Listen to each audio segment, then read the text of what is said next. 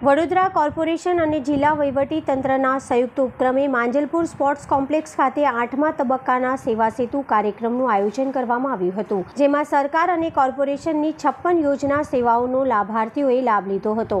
સરકારશ્રી નિર્દેશ અનુસાર વડોદરા કોર્પોરેશન અને જિલ્લા વહીવટી તંત્રના સંયુક્ત ઉપક્રમે આઠમા તબક્કાના દક્ષિણ ઝોન ખાતે સેવા સેતુ કાર્યક્રમ માંજલપુરના સ્પોર્ટ્સ કોમ્પ્લેક્સ ખાતે યોજાયો હતો.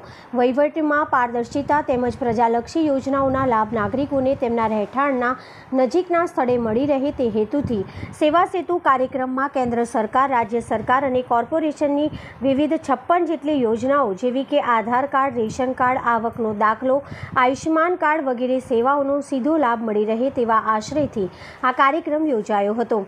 જેના શુભારંભ પ્રસંગે અધિકારીઓ, પદાધિકારીઓ ઉપસ્થિત રહ્યા હતા. આયોજિત આ કાર્યક્રમમાં મોટી સંખ્યામાં લાભાર્થીઓએ વિવિધ સેવા અને યોજનાનો લાભ લીધો હતો.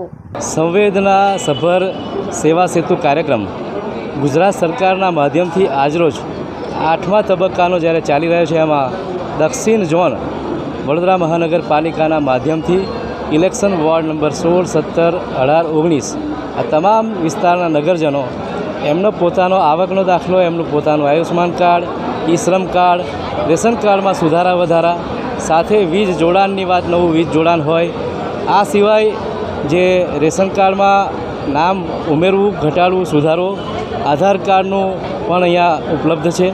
એ જ પ્રકારે ડૉક્ટરોની પણ ટીમ ઉપલબ્ધ છે. અમારા તમામ કાઉન્સિલર આ વિસ્તારના જે અત્યારે અહીંયા હયા, હયાત છે છે, ઉપલબ્ધ છે.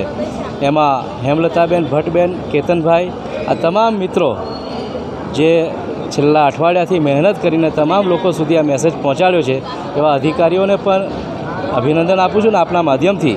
આજે ત્રણ વાગ્યા સુધી માજલપુર સ્ટેડિયમમાં આ કાર્યક્રમ ચાલુ રહેનાર છે.